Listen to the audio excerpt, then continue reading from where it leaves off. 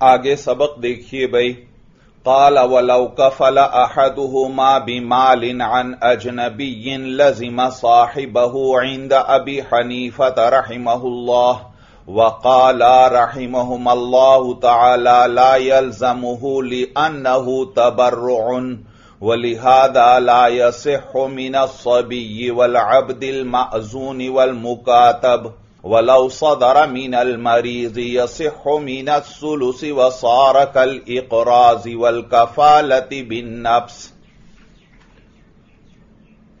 भाई गुजश्ता सबक में हमने किताब शिरकत शुरू की थी भाई साहिब हिदाया ने आपको बतलाया कि शिरकत जायज़ है क्योंकि नबी करीम सल्लल्लाहु अलैहि वसल्लम को पैगंबर बनाकर भेजा गया और उस वक़्त लोग शिरकत के मामलात कर रहे थे और नबी करीम सल्लल्लाहु अलैहि वसल्लम ने उनको रद्द नहीं फरमाया, उनको इन पर बरकरार रखा। मालूम हुआ शिरकत जायज़ है भाई।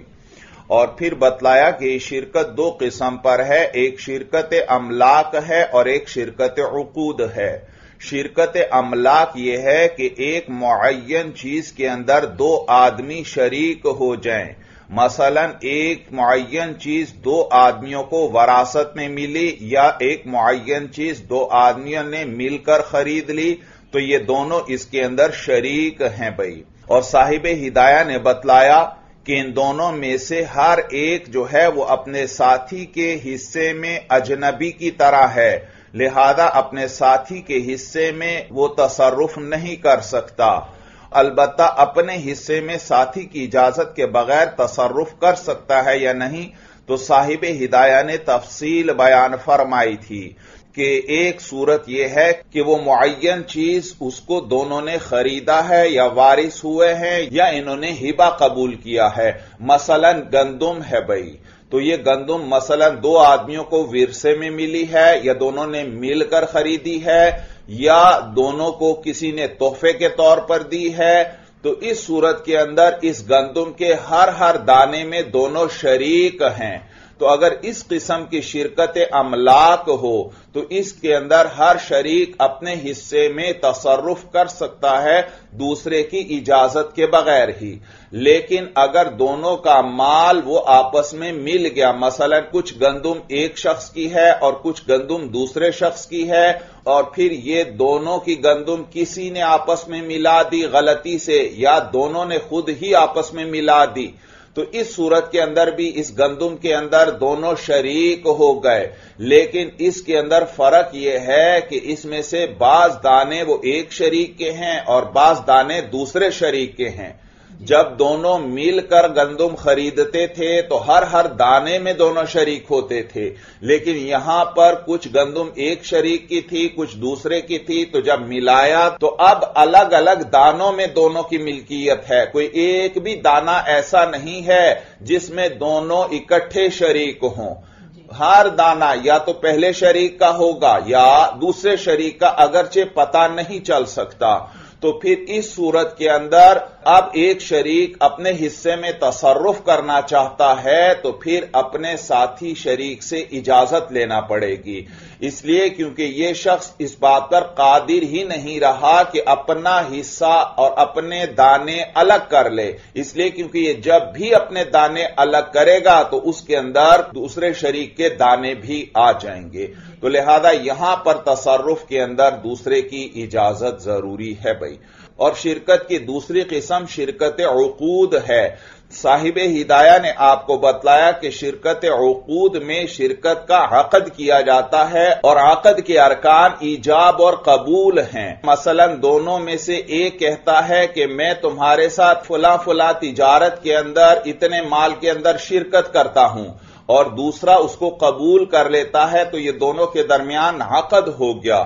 और इसके अंदर ज़रूरी है कि जिस तसरुफ पर ये दोनों अकद करें, मसलन तिजारत वगैरह है तो वो तसरुफ ऐसा होना चाहिए जिसके अंदर वकालत जायज़ हो। अगर उसके अंदर वकालत ही जायज़ नहीं है तो वहाँ पर शिरकत भी नहीं हो सकती, क्योंकि शिरकत के अंदर हर शरीक दूसरे का वकील होता है।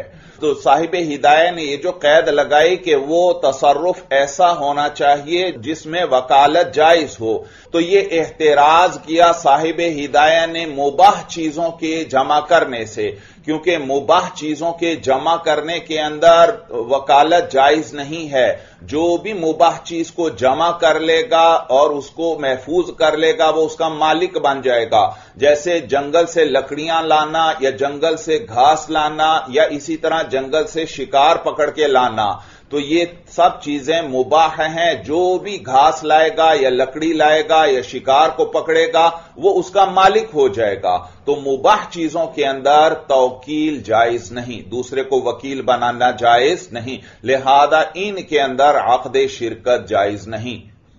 इनके अंदर आकद शिरकत जायज़ नहीं। तो लिहाजा ये दो शरीक जिस तसरुफ का भी आकद करें उसके अंदर वकालत जायज़ होनी चाहिए, इसलिए क्योंकि शिरकत का मकसद नफे के अंदर इश्तराक है, और नफे के अंदर इश्तराक तभी हो सकता है जब दोनों आकद के अंदर एक दूसरे के वकील हों भाई। दोनों में से जो कोई भी वो तिजारत वाला आकद करेगा तो उस आकत को वो खुद कर रहा है तो इस एतबार से वो असील है। और दूसरे की तरफ़ से भी ये आकद कर रहा है तो इस एतबार से दूसरे का वकील भी है। तो इस तरह जो नफा हासिल होगा, उसमें दोनों शरीक हो जाएँगे। और फिर साहिब हिदाया ने आपको बतलाया कि ये शिरकत अकूद चार किस्म पर है। शिरकत मुफावजा, शिरकत इनान, शिरकत सना और शिरकतुल वजूह भाई तो सबसे पहले हमने शिरकत मुफावजा के बारे में पढ़ना शुरू किया। आपको साहिब हिदाया ने बतलाया कि शिरकत मुफावजा के अंदर दोनों शरीकों में बराबरी ज़रूरी है। वजह यह है कि मुफावजा का माना ही बराबरी है, यानी बाहम एक दूसरे के बराबर होना भाई तो लिहाजा ज़रूरी है कि वह दोनों शरीक माल के अंदर भी बराबर हों और तसरुफ के अंदर भी बराबर हों और दीन के अंदर भी बराबर हों। और माल से मुराद वो वाला माल है जिसके अंदर शिरकत जायज़ हो और वो दिरहम है, दीनार हैं और फुलूस नाफिका हैं। यानी वो जो राइज करेंसी है, सिर्फ़ उनके अंदर शिरकत हो सकती है। सामान या ज़मीन और जायदाद वगैरह के अंदर शिरकत नहीं हो सकती। तो ये जो दिरहम, दीनार और करेंसी है, ये दोनों का माल बराबर होना चाहिए। अलबत्ता अगर एक की ज़मीन ज़्यादा है या एक के पास और सामान वगैरह ज़्यादा है तो उससे फ़र्क नहीं पड़ता, क्योंकि उसके अंदर शिरकत नहीं हो सकती। तो लिहाजा दिरहम और दीनार और राइज करेंसी में दोनों एक दूसरे के बराबर होने चाहिए तसरुफ के अंदर दोनों एक दूसरे के बराबर होने चाहिए, और दीन के अंदर भी ये दोनों एक दूसरे के बराबर होने चाहिए। और साहिब हिदाया ने यह भी बतलाया था कि ये जो शिरकत मुफावजा हमारे नज़दीक जायज़ है, ये इस्तेहसानन जायज़ है। कयास तो ये तकाजा करता है कि ये शिरकत मुफावजा जायज़ ही नहीं होनी चाहिए। इसलिए क्योंकि इसके अंदर मजहूल चीज़ पर तोकील और मजहूल चीज़ पर कफालत लाजिम आती है। हालाँकि मजहूल चीज़ पर वकील बनाना या मजहूल चीज़ का जामिन बनना यह दुरुस्त नहीं है। तवज्जो है। आपको मैंने बतलाया था कि यह आकद मुफावजा के अंदर, दोनों शरीक हर आकद के अंदर एक दूसरे के वकील भी होते हैं और एक दूसरे के जामीन भी होते हैं, यानी कफील भी होते हैं। लिहाजा एक पर जो दैन लाजिम आए, उसका मुतालबा दोनों से किया जा सकता है। क्योंकि एक ने आकद किया है, वो है असील, उससे भी दैन का मुतालबा हो सकता है। और शरीक जो है, उससे भी दैन का मुतालबा हो सकता है, क्योंकि वह जामीन है हर आकद में। तोज्जो है। तो लिहाजा तो जब हर शरीक दूसरे का वकील भी है और कफील भी है तो शिरकत मुफावजा के अंदर, मजहूल चीज़ पर वकील होना और मजहूल चीज़ पर कफील होना लाजिम आता है। और मजहूल चीज़ की वकालत भी जायज़ नहीं और मजहूल चीज़ की जमानत भी जायज़ नहीं। मसलन, मैं आपसे कहता हूँ कि जाओ भाई बाज़ार से कुछ मेरे लिए खरीद लाओ। तो अब याद रखो, ये इस तरह वकील बनाना जायज़ नहीं। क्योंकि उस चीज़ का पता होना चाहिए जिस चीज़ के लिए मैं आपको वकील बना रहा हूँ। तो जब मैंने कहा कि मेरे लिए कुछ ले आओ, इससे तो कोई तायीन नहीं हुई, कुछ पता नहीं चला कि किस चीज़ के अंदर मैंने आपको वकील बनाया है। तो कम अज कम जींस का तो पता होना चाहिए कि मसलन मैं आपसे कहता हूँ, गाड़ी ले आओ। अब गाड़ियाँ बहुत किस्म की हैं, लेकिन बहरहाल जींस का तो पता चल गया कि मैंने आपसे कहा, मेरे लिए गाड़ी खरीद लाओ। या मैं आपसे कहता हूँ, मेरे लिए कपड़े खरीद लाओ। अब अगरचे कपड़ों की बहुत सी अकसाम और अनवा हैं, लेकिन बहरहाल जींस का तो पता चल गया। तो मजहूल चीज़ पर वकील बनाना दुरुस्त नहीं। और इसी तरह जमानत जब किसी शख्स को दी जाती है तो उसके अंदर भी माल मालूम होना चाहिए कि वो कितने माल की जमानत दे रहा है। तो बात चल रही थी कि जो आकद मुफावजा है, ये हमारे नज़दीक इस्तेसानन जायज़ है। कियास ये तकाजा करता है कि अकद मुफावजा जायज़ नहीं होना चाहिए, क्योंकि इसमें मजहूल चीज़ पर वकालत और मजहूल चीज़ पर जमानत लाजिम आती है। क्योंकि हर शरीक दूसरे का वकील भी है और जामीन भी है। तो कयास ये तकाजा करता है, ये जायज़ नहीं होना चाहिए। लेकिन इस्तेसानन इसको जायज़ करार दिया गया। और दलील जो है, हदीस है, हजूर सलाम फरमाते हैं फाबिजूफ इन्नहु आजमुल बारका, कि तुम आकद मुफावजा किया करो, क्योंकि यह बरकत के एतबार से बड़ा है, यानी इसमें ज़्यादा बरकत है भाई। और नीस दूसरी दलील, तामुल नास है। मुसलमानों का इस पर तामुल है। मुसलमान आपस में आकद मुफावजा करते हैं और फुकाहा ने इसका रद्द नहीं किया तो लोगों का अमल करना और फुकाहा का रद्द न करना यह किसी चीज़ के जवाज की दलील होता है। और बाकी जो इसके अंदर जहालत आई, उसका भी जवाब दिया कि यहाँ पर जो जहालत आ रही है, वो तबान आ रही है। असल तो ये आकद किया जा रहा है नफे के अंदर शिरकत पर।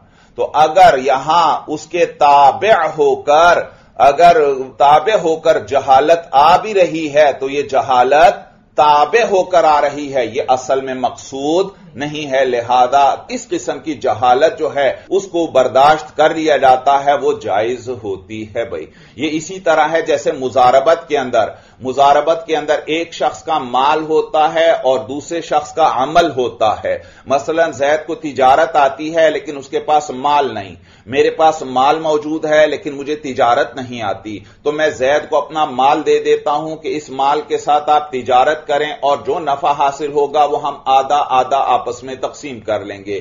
तो अब इसके अंदर देखो जैद मुख्तलिफ़ अकदो शिरा के मामलात करता है और उसके अंदर वो जिसका सरमाया है जिसका माल है उसकी तरफ़ से वकील होता है।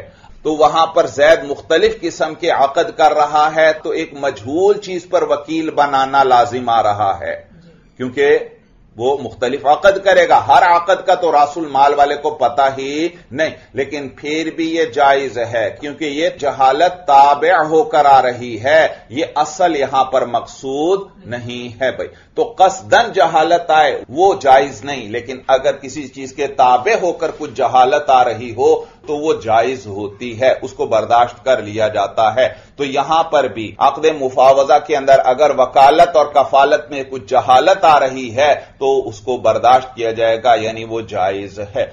और साहिब हिदाय ने आपको यह भी बतलाया कि आज़ाद और गुलाम के दरमियान अकद मुफावजा सही नहीं। और इसी तरह बालिग और नाबालिग के दरमियान अकद मुफावजा सही नहीं। इसलिए क्योंकि अकद मुफावजा की बुनियाद बराबरी पर है और आज़ाद और गुलाम या इसी तरह बालिग और नाबालिग, ये तो तसरुफ के अंदर बराबर नहीं। गुलाम अपने आका की इजाज़त के बगैर तसरुफ नहीं कर सकता और इसी तरह नाबालिग भी अपने वली की इजाज़त के बगैर तसरुफ नहीं कर सकता। तो यहाँ दोनों आकद करने वालों में बराबरी न रही। तो लिहाजा आज़ाद और गुलाम और बालिग और नाबालिग के दरमियान अकद मुफावजा दुरुस्त नहीं है। और इसी तरह मुसलमान और काफिर के दरमियान भी अकद मुफावजा दुरुस्त नहीं, इसलिए क्योंकि यहाँ तसरुफ में बराबरी नहीं है। काफिर जो है, वो तो शराब और खिंजीर में तसरफ कर सकता है, लेकिन मुसलमान तो शराब और खिंजीर में तसरुफ नहीं कर सकता भाई।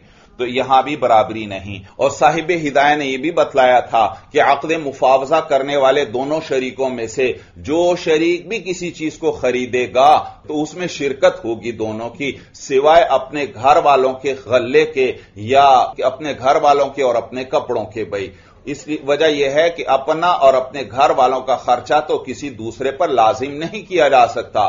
लिहाजा ये चीज़ें जो खरीदेगा ये मुस्तना होंगी अकद शिरकत से भाई। ये अकद शिरकत से मुस्तना होंगी ज़रूरत की वजह से कि हर इंसान जो है वो इन चीज़ों का मोहताज है भाई मोहताज है। अलबत्ता ये चीज़ें भी कोई खरीदेगा तो वो जो बाया है, वो दोनों से मुतालबा कर सकता है, क्योंकि दोनों एक दूसरे के कफील हैं। अलबत्ता, अगर वो बाया इसके शरीक से ये माल ले लेता है तो फिर इस सूरत में इसके शरीक ने, चूँकि इसकी तरफ़ से माल अदा किया है, लिहाजा वो इस पर रुजू कर सकता है भाई।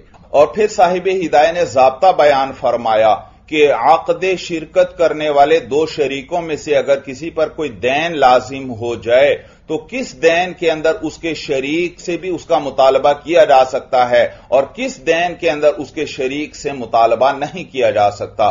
तो बतलाया कि वो दुयून, जो किसी ऐसी चीज़ के बदले में आए जिसमें इश्तराक हो सके, यानी आकद मुआवजा की वजह से जो दुयून आएँगे, उसके अंदर दोनों से मुतालबा हो सकता है। अलबत्ता वो दुयून कि जो ऐसी चीज़ की वजह से आए जिसमें इश्तराक नहीं हो सकता तो उसमें जिस पर दैन आया है, उसी से मुतालबा हो सकता है, दूसरे से मुतालबा नहीं हो सकता। जैसे इन दोनों में से किसी एक ने जिनायत कर दी तो जिनायत की वजह से जो जमान आएगा, उसका मुतालबा उसी जिनायत वाले से ही किया जाएगा। उसके शरीक से उसका मुतालबा नहीं हो सकता। या दोनों शरीकों में से एक शरीक निकाह कर लेता है तो निकाह की वजह से उस पर महर लाजिम आएगा। तो महर का मुतालबा उसी शरीक से किया जा सकता है, उसके दूसरे साथी से उसका मुतालबा नहीं किया जा सकता। या इसी तरह खुला है खुला की वजह से औरत पर माल वाजिब होता है। तो अब एक औरत पर खुला की वजह से माल वाजिब हुआ है और इस औरत ने किसी से आकद मुफावजा कर रखा है। तो यह बदल खुला का मुतालबा सिर्फ़ इस औरत से ही किया जा सकता है, इसके शरीक से नहीं किया जा सकता। या इसी तरह दोनों शरीकों में से एक ने कत्ले आमद कर दिया और फिर बाद में उन बकतूल के अलिया से सुलह कर ली माल पर। तो यह माल जो सुलह अंदमिल आमद की वजह से वाजिब हुआ है, ये इसी शरीक पर आएगा जिसने कतरे आमद किया था। तो उसी शरीक से मुतालबा हो सकता है, दूसरे शरीक से मुतालबा नहीं हो सकता। बात समझ में आ गई? अब आइए आज के सबक पर। काला वलव का फला अहदुमा बिमालिन अन अजनबी लजिमा साहिबहू इंद अबी हनीफत रहिमहुल्लाह। वकाला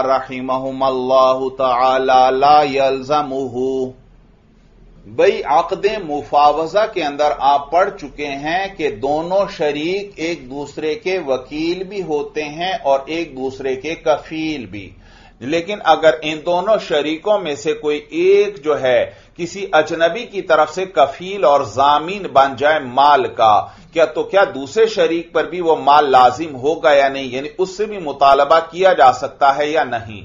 मसलन देखो, जैद और अमर, इन दोनों ने आपस में अकद मुफावजा किया हुआ है। ये दोनों एक दूसरे के शरीक हैं।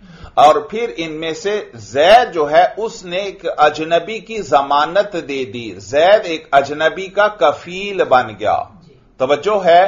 तो जैद हुआ कफील और वो अजनबी हुआ मकफूल अनहू यानी जिसकी तरफ़ से जमानत दी गई है। तो यहाँ अब बार बार दो तीन चीज़ें ज़िक्र होंगी वो आपने जहन में रखना है भाई। एक तो यह जहन में रखिए कि जैद और अमर इन दोनों के दरमियान अकद मुफावजा हुआ है। ये दोनों एक दूसरे के शरीक हैं। और ये जो जैद है इसने एक अजनबी की जमानत दी है यानी उसकी तरफ़ से कफील बना है। तो जैद को हम ताबीर करेंगे कफील के साथ। और अमर जो है उसको हम ताबीर करेंगे शरीक के साथ। वो जैद का शरीक है। और वो जो मकफूल अनहू है उसको हम ताबीर करेंगे अजनबी के साथ। तवज्जो है? तो जैद क्या है? कफील और अमर उसका शरीक। और वो जो मकफूल अनहू है वो एक अजनबी आदमी है भाई। तो जैद और अमर में अकद मुफावजा है। जैद और अमर तो एक दूसरे के वकील भी हैं और कफील भी हैं। लेकिन जैद एक मामले के अंदर एक अजनबी शख्स की तरफ़ से कफील बन गया जामीन बन गया।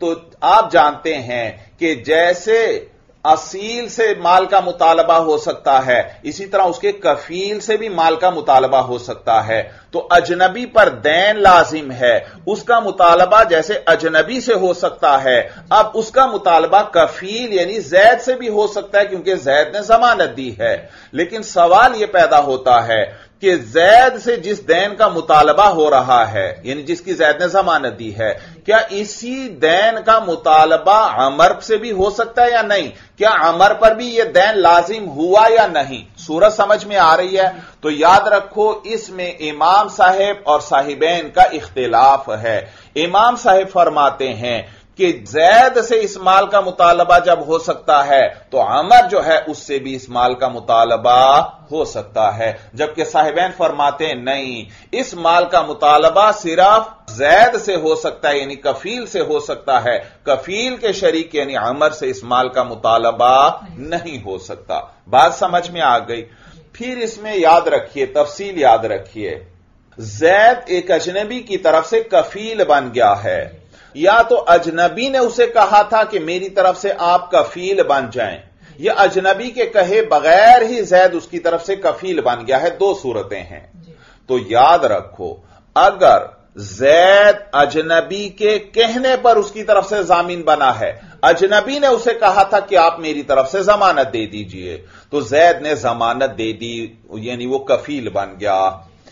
तो इस सूरत में याद रखो, अगर जैद को यह माल अदा करना पड़ गया कर्ज खा जैद के पास आ गए, उन्होंने जैद से यह माल वसूल कर लिया तो जैद चूँकि उस अजनबी के कहने पर उसका कफील बना था, लिहाजा जैद उस अजनबी पर रुजू कर सकता है कि मैंने आपके कहने पर जमानत दी थी और आपकी वजह से यह मुझे माल अदा करना पड़ा, लिहाजा अब आप मुझे यह माल अदा करें। यानी यूँ कहो आसान लफ्जों में कि अगर जैद उस अजनबी के कहने पर कफील बना है तो जैद अगर यह माल अदा कर देता है तो जैद उस अजनबी से जमान वसूल कर सकता है। जैद उस अजनबी से जमान वसूल कर सकता है कि आपकी वजह से मुझे यह माल अदा करना पड़ा है। अब आप मुझे यह माल अदा करें। जैद उससे जमान वसूल कर सकता है। लेकिन अगर जैद खुद ही कफील बना था, अजनबी ने उसे नहीं कहा। और जैद ने खुद ही जमानत दे दी उन कर्ज खाहों को कि यह अजनबी आपका दैन अदा कर देगा। अगर यह अदा नहीं करता तो मुझसे यह दैन वसूल कर लेना। और फिर बाद में वो कर्ज खा जैद के पास आए, उससे मुतालबा किया और उन्होंने जैद से, यानी कफील से वो माल वसूल कर लिया। तो याद रखो, इस सूरत में जैद उस अजनबी पर रुजू नहीं कर सकता। जैद इस सूरत में उस अजनबी पर रुजू नहीं कर सकता। इसलिए क्योंकि अगर जैद उस पर रुजू करेगा तो अजनबी जवाब में कह सकता है कि मैंने तो आपको नहीं कहा था कि मेरी तरफ़ से जामीन बने और मेरी तरफ़ से माल अदा करें। यह आपने अपनी तरफ़ से माल अदा किया है, मैं इसका जिम्मेदार नहीं हूँ भाई। सूरत समझ में आ गई। मालूम हुआ, बात चल रही है कफालत बिल माल की। जैद ने किस चीज़ की जमानत दी है? माल की। और इसमें फिर दो सूरतें हैं। यह कफालत बिल माल जो है, या तो भी अमरिल अजनबी होगी अजनबी के कहने की वजह से होगी या बगैर अमरिल अजनबी अजनबी के कहे बगैर होगी। और अगर यह कफालत बिल माल जो है अगर भी अमरिल अजनबी हो और जैद को यह दैन अदा करना पड़ जाए तो जैद उस अजनबी पर रुजू करके जमान वसूल कर सकता है। और अगर यह कफालत बिल माल जो है ये बगैर अमरिल अजनबी है तो इस सूरत में अगर जैद ये माल अदा कर दे तो जैद उस अजनबी पर जमान के सिलसिले में रुजू नहीं कर सकता रुजू नहीं कर सकता। माना यह है कि जबरन उसे वसूल नहीं कर सकता। अगर जैद खुद ही जामीन बना था अजनबी के कहे बगैर तो यह माना नहीं कि जैद उसे जमान ले ही नहीं सकता। माना यह है कि जैद उससे जबरन जमान नहीं ले सकता। यानी कि उसे काजी के पास ले जाए और उसे जमान का मुतालबा करें नहीं जैद ऐसा नहीं कर सकता क्योंकि अजनबी कहेगा कि मैंने तो आपको नहीं कहा था कि आप मेरी तरफ़ से जामीन बने और मेरी तरफ़ से जमान अदा करें। तो जैद जब अजनबी के कहे बगैर जामीन बना है और फिर जैद ने यह दैन अदा कर दिया है तो बाद में जैद जबरन उस अजनबी से जमान वसूल नहीं कर सकता। हाँ, अखलाकी तौर पर उस अजनबी को यह जमान अदा करना चाहिए, क्योंकि जैद ने उसके जिम्मे एक दैन को अदा किया है। बात समझ में आ गई? तो सूरत मसला यह ज़िक्र हो रही थी कि दो शरीक हैं जैद और अमर। और उनमें से जैद जो है एक अजनबी की तरफ़ से कफील बन गया है और उस अजनबी के कहने पर कफील बना है। तो इस दैन का मुतालबा उस अजनबी के साथ साथ अब जैद से भी हो सकता है। लेकिन क्या अमर से भी इस दैन का मुतालबा हो सकता है या नहीं? तो इसमें इमाम साहेब और साहिबैन का इख्तिलाफ है। इमाम साहेब फरमाते हैं कि इस दैन का मुतालबा उस कफील के शरीक यानी अमर से भी हो सकता है। जबकि साहिबैन फरमाते हैं कि नहीं ये जो अकद कफालत है ये अकद तबर्र है। यह अकद कफालत क्या है? अकद तबर्र है और दो शरीकों में से एक का तबर्र दूसरे पर लाजिम नहीं होता।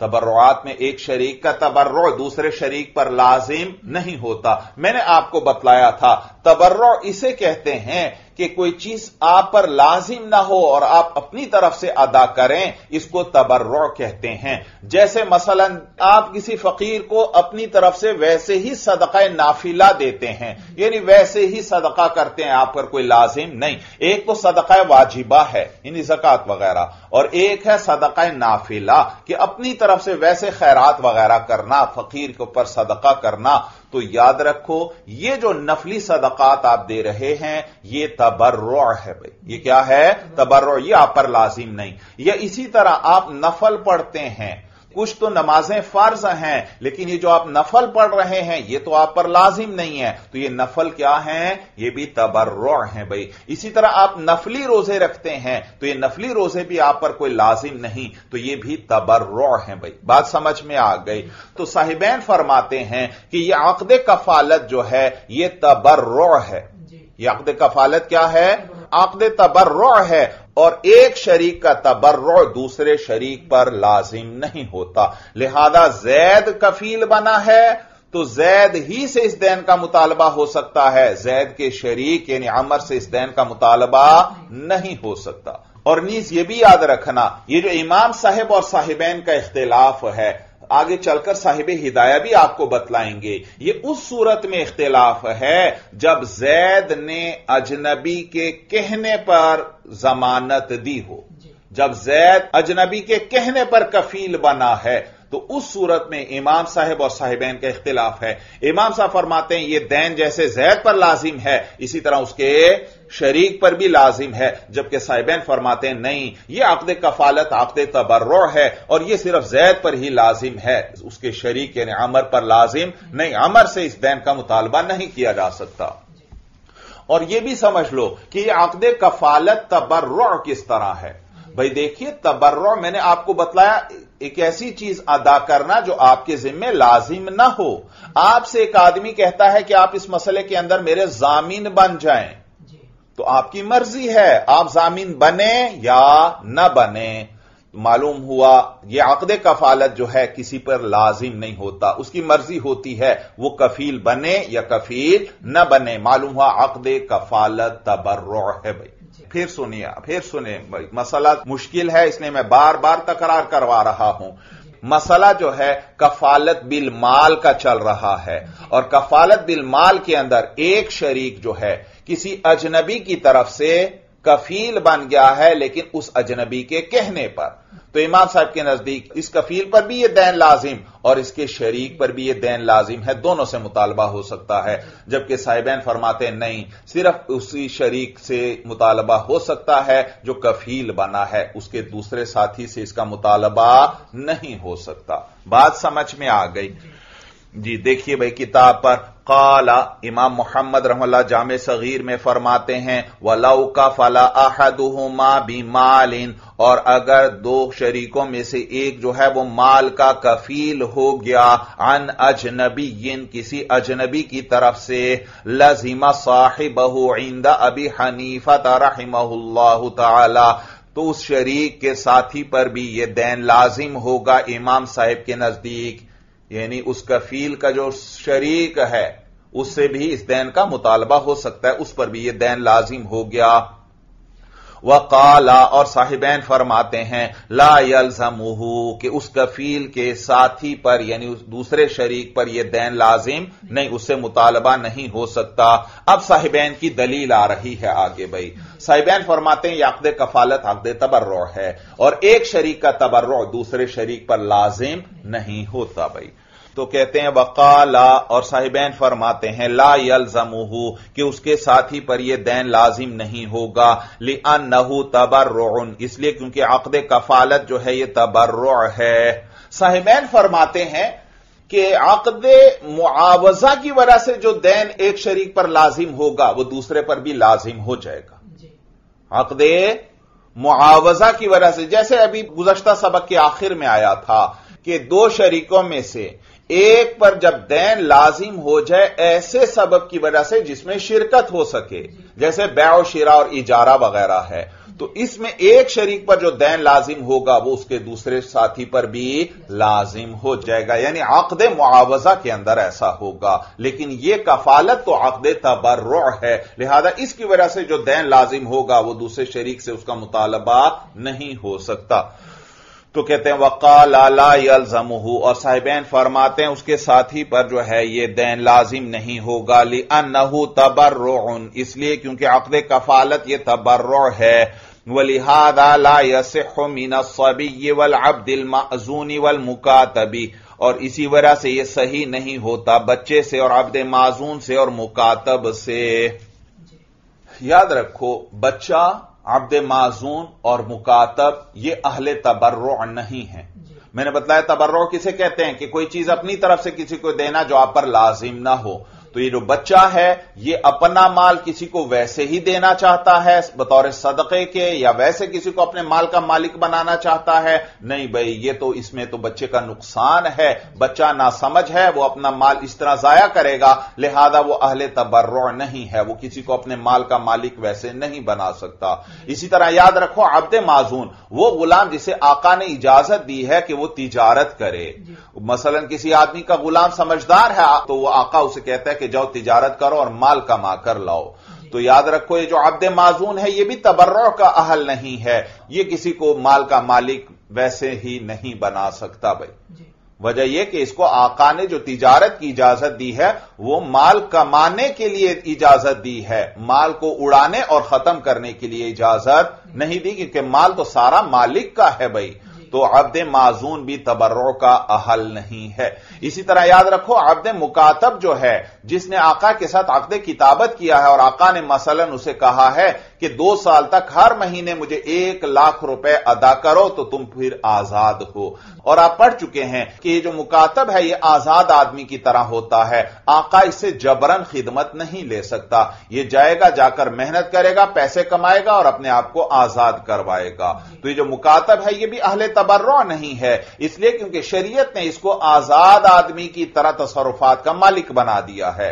लेकिन यह तसरुफात का मालिक इसको शरीयत ने आज़ादी के लिए बनाया है ताकि यह बदल किताबत अदा करके अपने आप को आज़ाद करे। लिहाजा इसको भी माल उड़ाने की इजाज़त नहीं होगी कि वह अपने माल का मालिक किसी दूसरे को बनाए।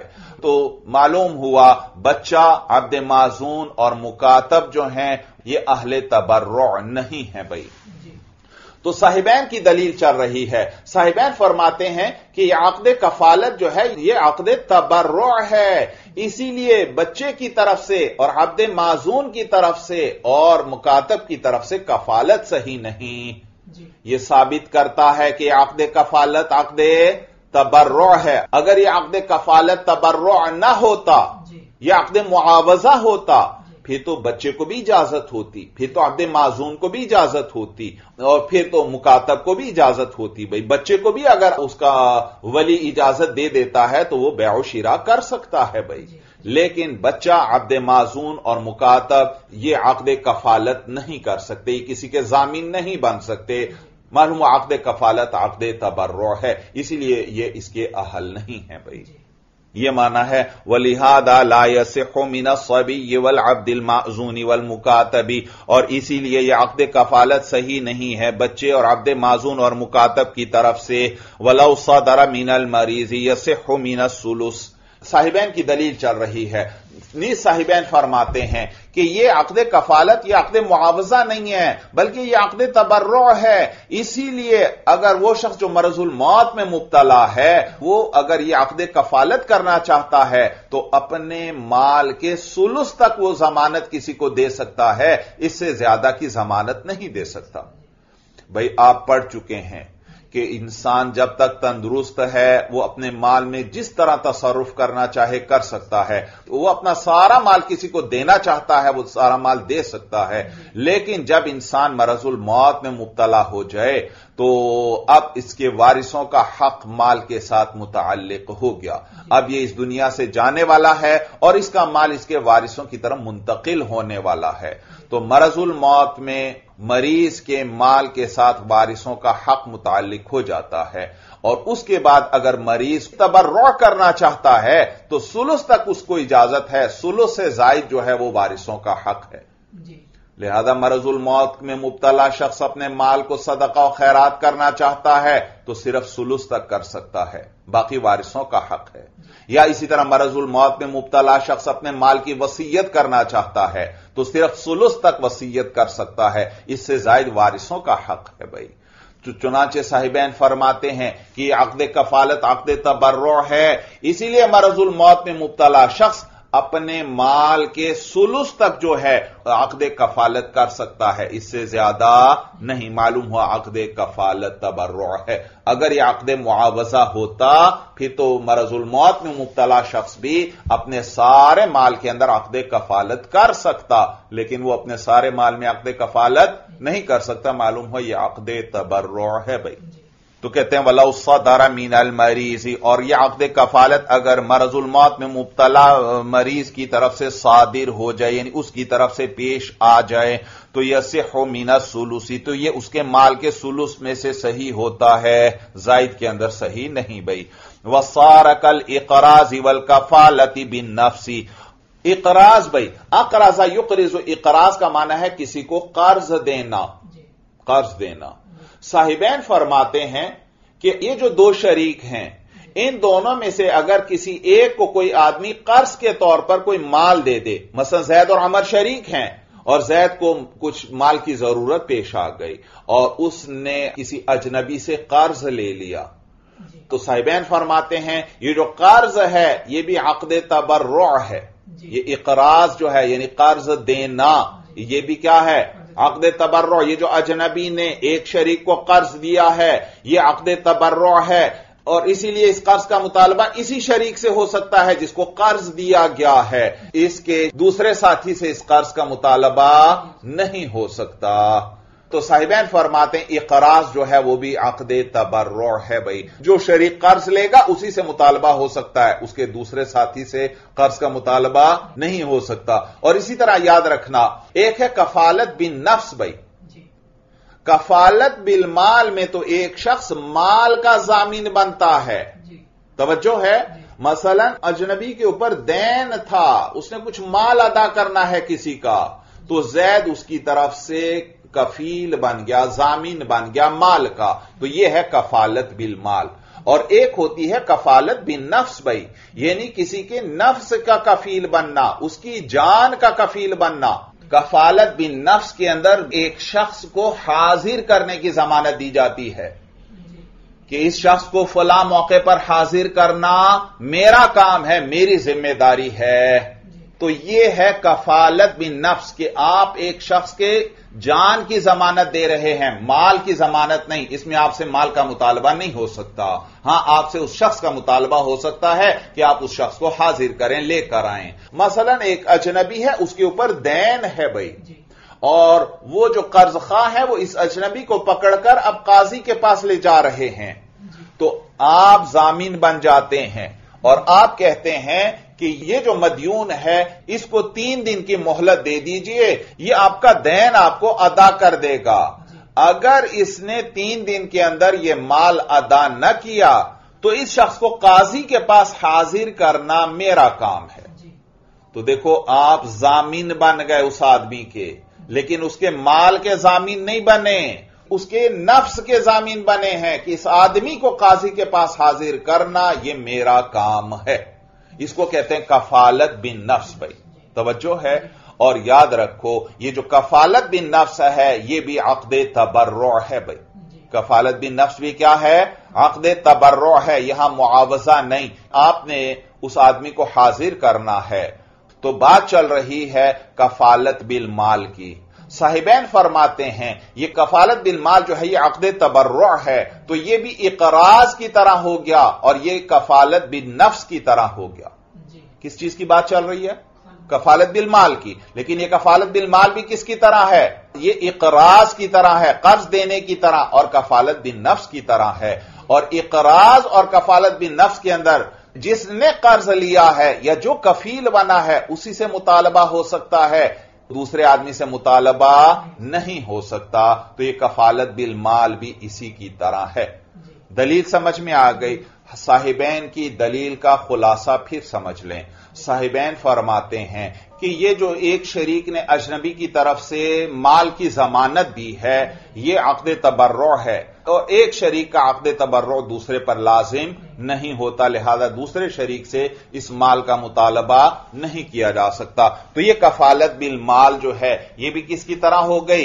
इकराज की तरह, कर्ज देने की तरह और कफालत बिल नफ्स की तरह।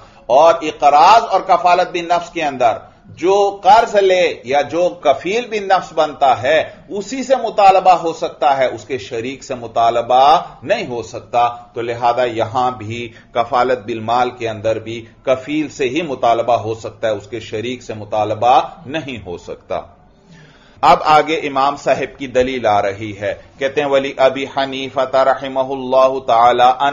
तबर्रुन इब्तिदा व मुआवजतुम बका इमाम साहब फरमाते हैं ये अकद कफालत बिल माल जो। भी अमरिल अजनबी हो यानी भी अमरिल मकफूल अनहू हो ये अकद कफालत जो है ये इब्तदा के एतबार से अकद तबर्र है लेकिन इंतहा के एतबार से देखें तो यह अकद मुआवजा है।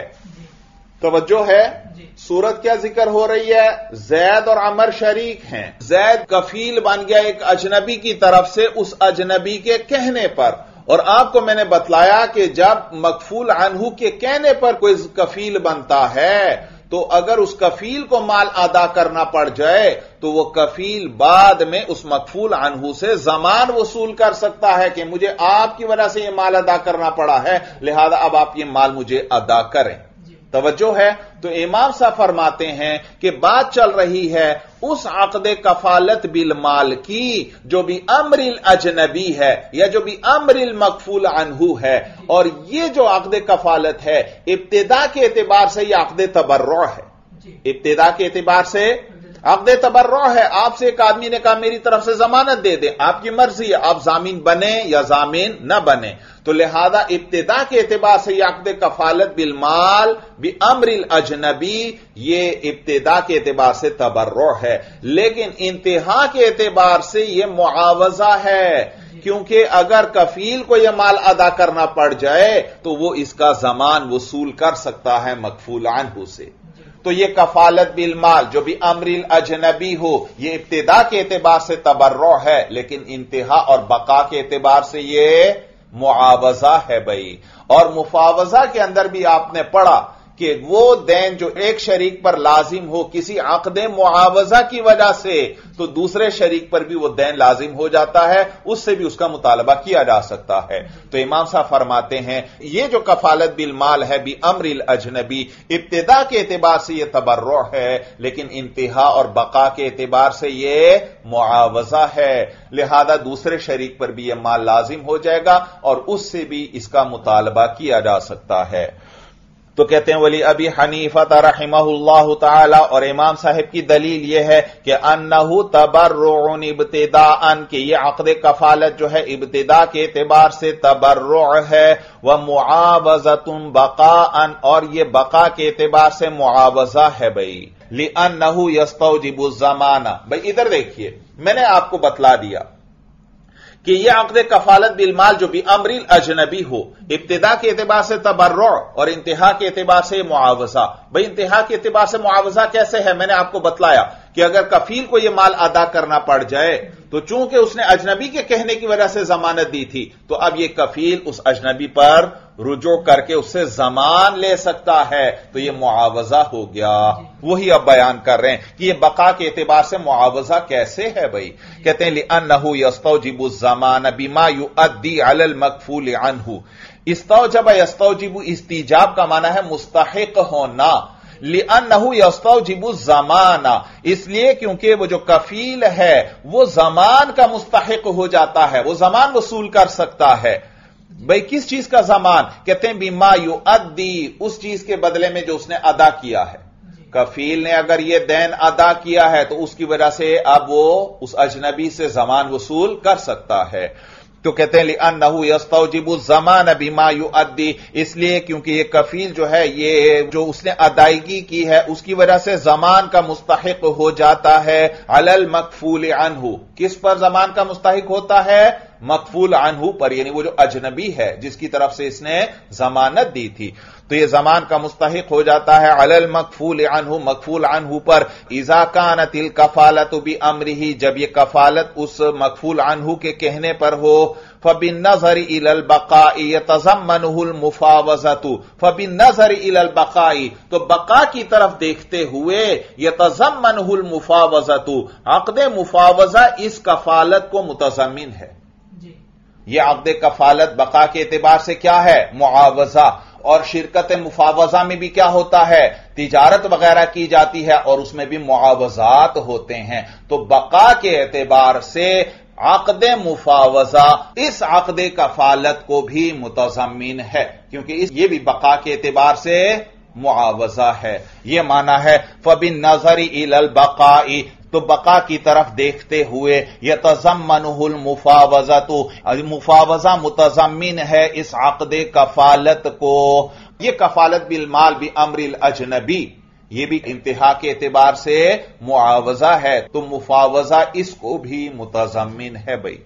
तो कहते हैं फबिन नजरी इल बकाई तो बका की तरफ़ नज़र करते हुए यह तजमनहुल मुफावजा तो आकद मुफावजा इस कफालत को मुतजमिन है वह बिन नजरी इल इब्तदाई यहाँ से जवाब दे रहे हैं। साहिबैन फरमाते थे कि अकद कफालत तबर्रो है इसीलिए तो बच्चा अब्द माजून और मुकातब ये कफील नहीं बन सकते क्योंकि अकद कफालत तबर्रो है और ये अफराद तो तबर्र के अहल नहीं है। तो उसका जवाब दे रहे हैं कि बच्चा, अब्द माजून और मुकातब, ये अकद कफालत के अहल नहीं है। इब्तदा की तरफ़ नज़र करते हुए, क्योंकि अकद कफालत इब्तदा के एतबार से तबर्र है भाई। और ये बच्चा और अब्द मासून और मुकातब, ये तो अहले तबर्रो नहीं है, इसलिए ये कफील नहीं बन सकते। तो कहते हैं, वबिन नजरी इल इब्तदाई, और इब्तदा की तरफ़ नज़र करते हुए, लम तसिह मिमन जकरहू, ये अकद कफालत सही नहीं है। मिमन जकरहू, उन अफराद की जानिब से जकरहू, जिनको इमाम मोहम्मद रहमल्ला ने ज़िक्र फरमाया है, यानी बच्चा है, अब्द माजून है या मुकातब है। इब्तदा की तरफ़ नज़र करते हुए, ये बच्चा अब्द माजून और ये मुकातब ये अकद कफालत के अहल नहीं है, क्योंकि इब्तदा के एतबार से यह अकद कफालत तबर्रो है भाई। तो कहते हैं वबिन नजरी इब्तदा इलम तमंजा कराहू और इब्तदा की तरफ़ नज़र करते हुए यह अकद कफालत सही नहीं है। उस शख्स की तरफ़ से जिसको इमाम मोहम्मद रहमल्ला ने ज़िक्र फरमाया, और नीज साहिबैन ने ज़िक्र किया था कि अकद कफालत अकद तबर्रो है। इसीलिए मरजुल मौत में मुबतला शख्स जो है, अपने सुलु से माल के अंदर यह अकद कर सकता है, उससे जायद के अंदर यह अकद नहीं कर सकता। तो उसका भी जवाब दे रहे हैं कि वहाँ भी इब्तदा की तरफ़ देखा जाए तो अकद कफालत तबर्रो है। तो इब्तदा की तरफ़ नज़र करते हुए मरजुल मौत में मुबतला मरीज़ जो है वह अपने सुलु से माल से जायद के अंदर यह अकद नहीं कर सकता।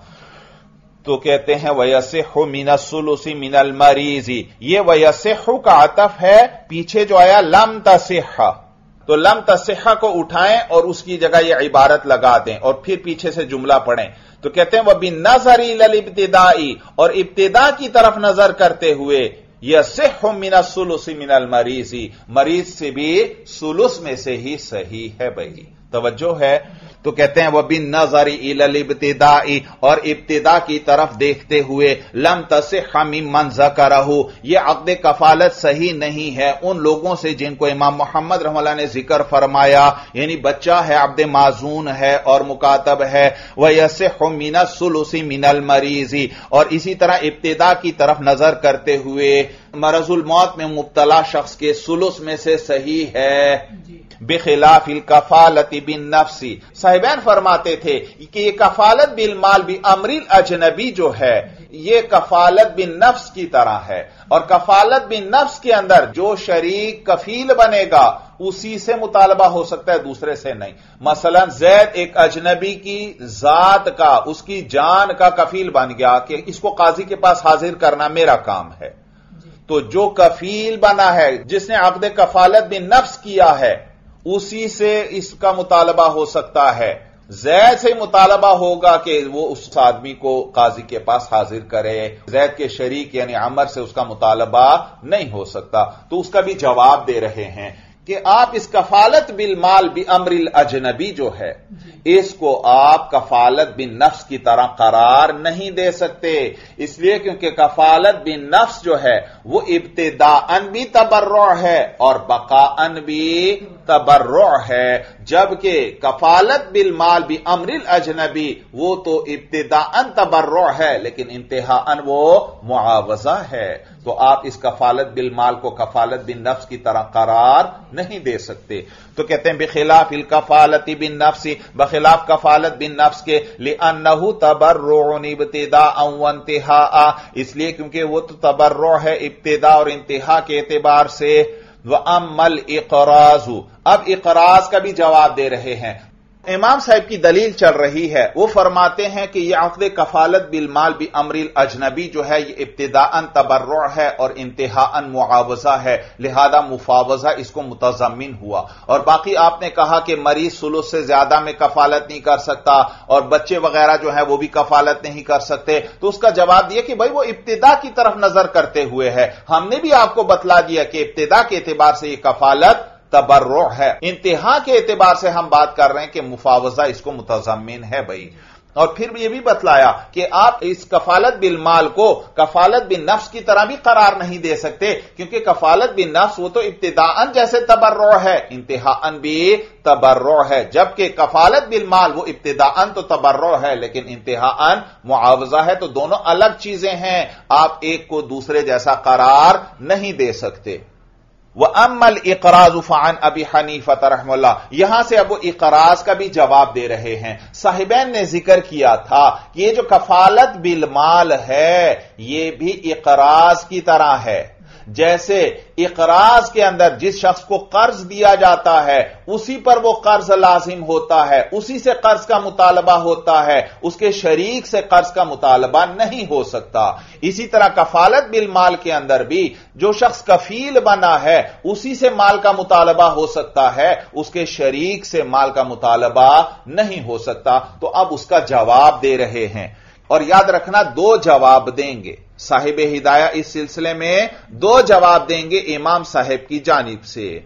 और एक जवाब इनकारी और एक जवाब तस्लीमी। इनकारी जवाब जिसमें जिसमें मुखालिफ के दावे को रद्द किया जाता है। तस्लीमी जवाब जिसमें मुखालिफ के दावे को तस्लीम करके फिर जवाब दिया जाता है। तो पहला जवाब इनकारी देंगे कि, ए साहिबैन, आपका यह कहना है कि जो इकराज है यह सिर्फ़ उसी शख्स पर लाजिम होता है जिसने कर्ज लिया है। उसके शरीक पर यह कर्ज लाजिम नहीं होता, उससे मुतालबा नहीं हो सकता। हमें आपका यह दावा तस्लीम नहीं है।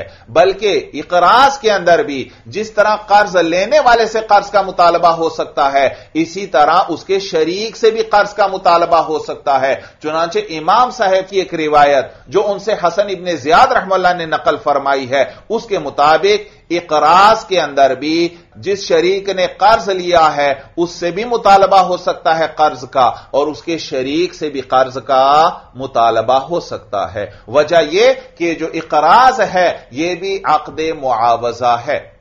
यह इकराज क्या है? अकद मुआवजा है। और जो भी अकद मुआवजा होता है, मुफावजा उसको मुतजमिन होता है। तो ये इकराज जो है, ये अकद मुआवजा की तरह किस तरह है, ये समझ लीजिए भाई। देखिए, सूरत यह है कि आप कर्ज लेते हैं एक शख्स से, मसलन सौ दिरहम आपने उसे कर्ज लिए कि मुझे हाजत है, ज़रूरत है, उसने आपको सौ दिरहम दे दिए। तो ये सौ दिरहम तो आप अपनी ज़रूरत में खर्च कर देंगे। और मसलन दो महीने के बाद, अब आपके पास मजीद सौ दिरहम आ गए, अब आप वो कर्ज वापस करते हैं। तो मुझे बताइए, जो दिरहम आपने कर्ज में लिए थे, वही दिरहम वापस कर रहे हैं, या ये उन्हीं जैसे और दिरहम हैं? ज़ाहिर सी बात है, वो दिरहम तो आप खर्च कर चुके हैं, ये उन्हीं जैसे और दिरहम हैं भाई। तो मालूम हुआ, आप ये जो दिरहम वापस कर रहे हैं वो जो दिरहम आपने लिए थे, ये उनका इवज है भाई। ये उनका इवज है, ये उनके मिसल हैं भाई। तो मालूम हुआ, ये जो इकराज है, ये भी अकद मुआवजा है। तो इमाम साहब से एक रिवायत यह है कि यह इकराज आकद मुआवजा है। लिहाजा जब एक शख्स ने कर्ज लिया है तो उसके शरीक से भी कर्ज का मुतालबा हो सकता है। बात समझ में आ गई। तो कहते हैं, वह अमल इकराज और बाकी कर्ज देना। फान अभी हनीफत रहीमल्ला ताला तो इमाम साहिब से रिवायत है कि अनहू यल यलजम साहिबहू, कि यह भी लाजिम हो जाता है उसके साथी पर। यह इकराज भी उसके साथी पर लाजिम हो जाता है, यानी उससे भी उस कर्ज का मुतालबा हो सकता है। तो यह तो इनकारी जवाब था। साहिबैन क्या फरमाते थे? कर्ज का मुतालबा जिसने कर्ज लिया है, उसी से हो सकता है, दूसरे शरीक से मुतालबा नहीं हो सकता। तो पहला जवाब इनकारी दिया कि नहीं, हमें आपकी ये बात तस्लीम नहीं, कर्ज का मुतालबा दूसरे शरीक से भी हो सकता है, क्योंकि यह अकद मुआवजा है भाई। यह अकद मुआवजा है। अब आगे तस्लीमी जवाब देंगे, दूसरा जवाब। कहते हैं, वाला उसमा और अगर आपकी बात तस्लीम कर ली जाए कि कर्ज के अंदर शरीक से मुतालबा नहीं हो सकता तो उस सूरत में हम कहते हैं कि जो इकराज है यह आरा है। इकराज क्या है? आरा याद रखो आरा का माना है किसी को कोई चीज़ आरियत के तौर पर देना, इस्तेमाल के लिए देना। मसलन घरों में मेहमान आते हैं तो बाज अवकात हम सायों से इस्तेमाल के लिए बर्तन ले लिए जाते हैं और फिर इस्तेमाल के बाद वापस कर दिए जाते हैं तो इसको आरियत कहते हैं। यानी किसी से कोई चीज़ इस्तेमाल के लिए लेना बगैर किसी इवज के। अगर आप एवज भी देते हैं तो फिर याद रखो, फिर ये इजारा है भाई, किराए पर कोई चीज़ लेना। लेकिन इआरे के अंदर उजरत नहीं होती एवज नहीं होता। और याद रखना, ये जो इआरा है, ये आकदे तबर्र है। मैंने आपको बतलाया तबर्र इसे कहते हैं कि एक चीज़ आप पर लाजिम नहीं है और आप अपनी तरफ़ से अदा करते हैं। तो इसको क्या कहते हैं? तबर्र कहते हैं। तो ये जो इआरा है, यानी आरियतन किसी को कोई चीज़ देना इस्तेमाल के लिए, ये अकद तबर्र है। यानी ये आप नेकी और एहसान कर रहे हैं, दूसरे को ये चीज़ इस्तेमाल के लिए बगैर इवज के दे रहे हैं। तो तस्लीमी जवाब ज़िक्र कर रहे हैं साहिब हिदाया इमाम साहिब की तरफ़ से कि हमें आपकी बात तस्लीम है। इकराज के अंदर जिस शरीक ने कर्ज लिया है उसी से मुतालबा हो सकता है दूसरे शरीक से मुतालबा नहीं हो सकता। वजह यह कि इकराज ये आरा है। ये क्या है? आरा है और आरा आकद तबर्र है और एक शरीक का तबर्र दूसरे शरीक पर लाजिम नहीं हो सकता। लिहाजा इसी शरीक से इस कर्ज का मुतालबा हो सकता है जिसने कर्ज लिया है। उसके दूसरे साथी से कर्ज का मुतालबा नहीं हो सकता। बात समझ में आ गई। तो कहते हैं वलाउसुल्लिमा और अगर आपकी बात तस्लीम कर ली जाए कि ये जो इकराज है, ये उसके साथी पर लाजिम नहीं होता फहुआ ए आरतुन तो ये इकराज जो है, ये ए आरा है। फयकून मिसलिहा हुक्म आइनिहा ला हुक्मुल बदली तो एतराज़ होता है। एतराज़ होता है कि आप इकराज को इआरा कैसे करार दे सकते हैं? इआरा के अंदर तो जो चीज़ आरियतन इस्तेमाल के लिए ली है वही चीज़ वापस की जाती है। हमसायों के घर से बर्तन लिए हैं इस्तेमाल के लिए तो वही बर्तन उसको वापस किए जाएँगे।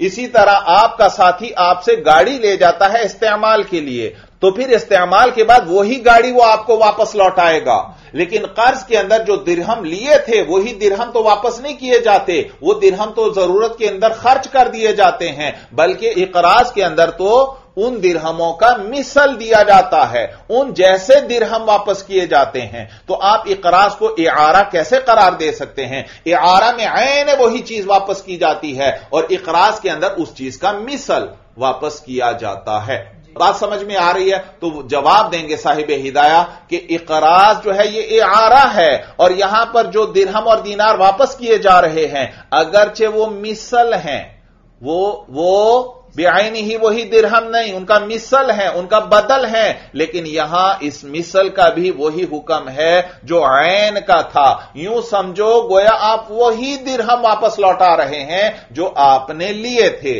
जैसे इस्तेमाल के बाद वही बर्तन वापस किए जाते हैं। यहाँ भी यूँ ही समझो, आप वही दिरहम वापस लौटा रहे हैं। मालूम हुआ इकराज के अंदर मिसल लौटाया जाता है, लेकिन मिसल का भी वही हुक्म है जो उस ऐन शह का हुक्म था भाई। तो यह माना है, कहते हैं वलाउसुल्लिमा फहुआ आरतुन और अगर आपकी बात तस्लीम कर ली जाए कि कर्ज जो है उसके साथी पर लाजिम नहीं होता फहुआ आरतुन तो ये इकराज जो है, ये आरा है। फयकून उलिमिस लिहा हुक्म आईनिहा तो इस आरे का जो मिसल है, यानी ये जो इकराज है, जिसको हमने आरा करार दिया फयकून उलिमिस लिहा हुक्म आईनिहा तो इसके मिसल का वही हुक्म है जो इसकी ऐन का हुक्म है। ला हुक्मुल बदली। बदल वाला हुक्म नहीं है भाई। अगर बदल का हुक्म दे देंगे, फिर तो ये आरा ना रहा भाई। फिर तो ये आकद मुआवजा बन जाएगा। तवज्जो है? तो मालूम दो जवाब दिए साहिब हिदाया ने।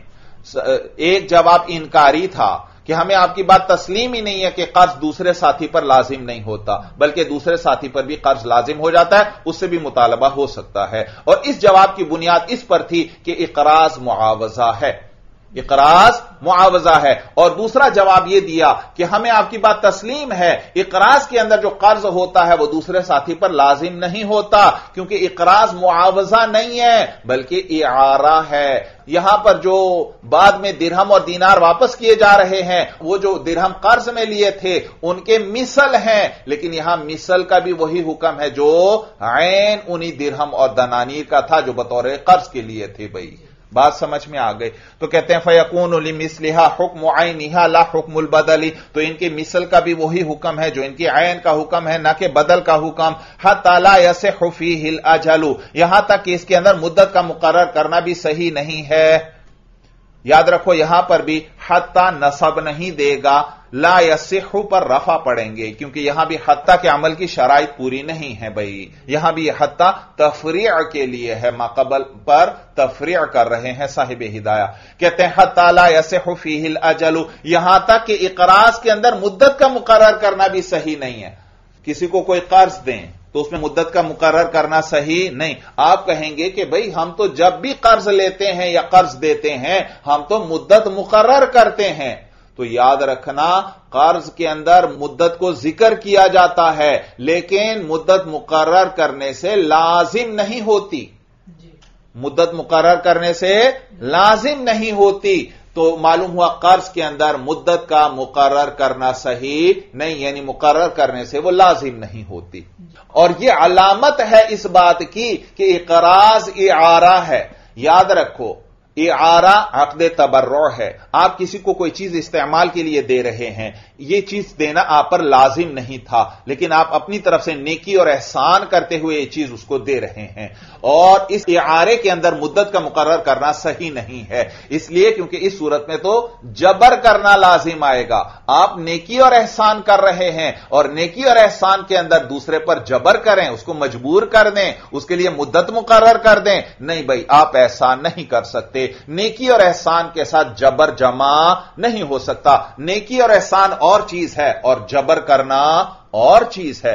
एक ही चीज़ नेकी भी हो और जबर भी हो, ऐसा नहीं हो सकता। लिहाजा आरे के अंदर मुद्दत मुकर्र की जाए तो वो मुद्दत मुकर्र नहीं होती। इसी तरह ये जो इकराज है, इसके अंदर भी मुद्दत मुकर्र की जाए तो वो मुद्दत मुकर्र नहीं होती, यानी लाजिम नहीं होती। मालूम हुआ इकराज आरा है। जैसे आरा के अंदर मुद्दत का मुकर्र करना सही नहीं, इसी वजह से इकराज के अंदर भी मुद्दत का मुकर्र करना सही नहीं है भाई।